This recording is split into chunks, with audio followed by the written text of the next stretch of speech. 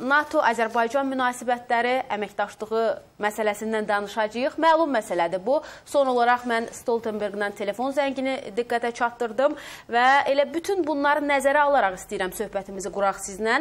NATO rəhbərliyinin müzakirə platformalarının Cənubi Qafqazdakı vəziyyəti diqqətə alması fonunda e, və son iclası da əgər nəzərə alsaq, regional əməkdaşlıq, e, bütün bu məsələlərin fonunda son vəziyyətin müzakirəsi e, nə deməyə əsas verir? Bu e, intensivləşmə təsadüfidirmi, yoxsa burada müəyyən siyasi maraqlar e, müşahidə edilməkdədir?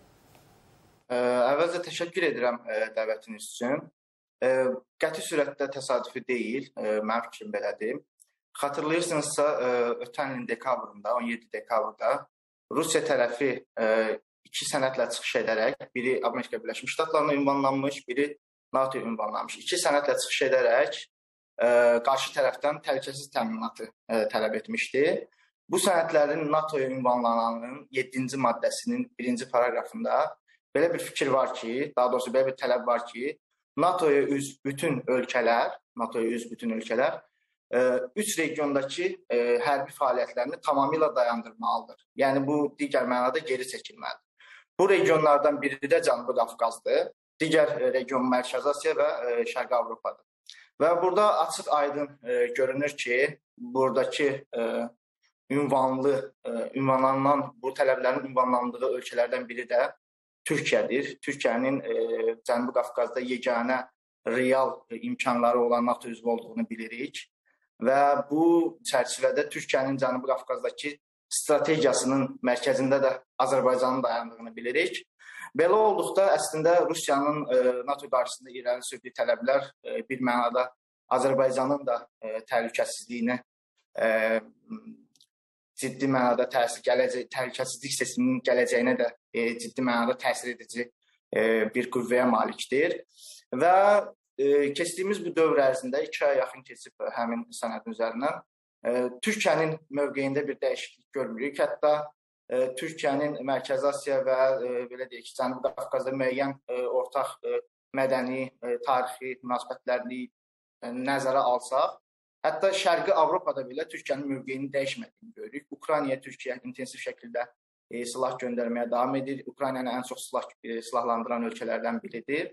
Təbii ki, bu da Türkiyənin NATO ilə əlaqələrinin daha da yaxınlaşmasına səbəb olur. Və digər tərəfdən Azərbaycanın da e, keçdiyimiz e, zaman dilimində bir mövqeyində dəyişiklik olmadığını görürük. Xüsusilə prezident İlham Əliyev e, 12 yanvarda yerli mətbuata e, müsahibəsinin e, sonuncu sualında ona vermişdilər ki, bəs e, dünya dəyişir, e, beynəlxalq arxitektura dəyişir, Yalta sisteminin dəyişməsi ilə bağlı e, e, müzakirələr var, dünya düzəninin dəyişməsi ilə. Onda prezident dedi ki, biz e, istənilən ehtimala hazırıq. Əgər beynəlxalq arxitektura indiki vəziyyətdə davam etsə ki, e, ona şəxsən inanmır, prezident elə dedi və ya yeni arxitektura qurulsa belə. Yəni hər iki arxitektura da Azərbaycan e, öz mövqeyini qorumağa, öz rolunu oynamağa hazırdır dedi. Bu da onu göstərir ki, bizim strategiyamızda əslində dəyişiklik yoxdur. Biz də belə deyək, NATO üzvü Türkiyənin Türkiyə ilə inteqrasiyada məmnunuq və bu Türkiyə e, Rusiyanın 17 dekabrda ortaya atdığı belə deyək tələbə qarşı ən maraqlı cavab məncə Şuşa bəyannaməsinin həm ratifikasiya olunması, təsdiqlənməsi, qüvvəyə minməsi oldu ki, Şuşa bəyannaməsi e, müttəfiqlik paktıdır, hərbi paktdır və burada e, ölkələrin bir-birinə e, qarşılıqlı e, təhlükəsizlik təminatı zəmanətindən söhbət gedir. Belə olduqda artıq e, biz rəsmiləşdirilmiş şəkildə bir mənada NATO-nun e, Türkiyə vasitəsilə Cənubi Qafqaza uzanan təhlükəsizlik çətirindən də istifadə etməyə başlayacağıq. E, bu e, Rusiyanın təhlükəsizlik tələbinə verilmiş ciddi cavabdır məncə. E, Cavidan bəy, siz qeyd elədiniz, xüsusən də burada Şuşa bəyannaməsində vurğuladınız. Yəni mümkün, yəni mövcud vəziyyətdə NATO-Azərbaycan münasibətləri bəllidir və indiki dövrdə daha da sıxlaşma istiqamətindədir. Mümkün ssenariləri nəzərə alsaq, bunun müsbət tərəfləri ilə yanaşı müəyyən e, və mümkün ola biləcək təhdidlər nədən ibarət ola bilər?